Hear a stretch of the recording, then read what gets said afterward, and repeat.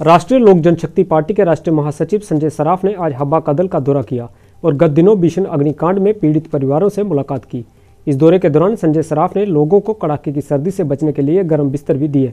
इस अवसर पर राष्ट्रीय लोक जनशक्ति पार्टी के राष्ट्रीय महासचिव संजय सराफ ने कहा कि वे पीड़ित परिवारों की सहायता के लिए प्रशासन के साथ भी संपर्क में हैं और वे प्रशासन से सर्दी के मौसम को देखते हुए इस अग्निकांड से प्रभावित परिवारों को आर्थिक मदद और इनके आवास की सुविधाएँ देने की भी मांग करते हैं। ताकि इस सर्दी में लोगों को कुछ राहत दी जा सके। श्रीनगर से न्यूज़ जम्मू के लिए फिरदौस खान की रिपोर्ट। यहाँ अभी आग लगी है। हमारे सात आठ फैमिलीज़ को सात आठ घर पूरे साफ़ हो गए। इन बेचारों के पास कुछ नहीं निकला। बट ऊपर वाले की रहमत है कि इनकी लाइफ सेव हो गई है, इनकी ज़िंदगी बच गई है। हम उसी के लिए दुआ करते हैं। अब हमने अपने तरीके से आज ठंड है। ठंड के टाइम में थोड़ा सा सपोर्ट करने की कोशिश की है। इस सपोर्ट से इनको उतना ज़्यादा फ़र्क तो नहीं पड़ेगा, लेकिन थोड़ी बहुत गर्मी यहाँ पर मिलेगी इस सपोर्ट से। अभी जो सर्दियों का टाइम है कश्मीर में, और हम एडमिनिस्ट्रेशन के साथ भी मैं टच में हूँ डीसी और डीकाम साहब से गुजारिश की है मैंने। Already I am in touch with them कि इनको फाइनेंशियल सपोर्ट हो जाए।